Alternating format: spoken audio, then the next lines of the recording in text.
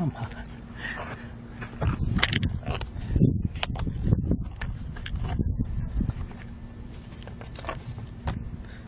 Ah.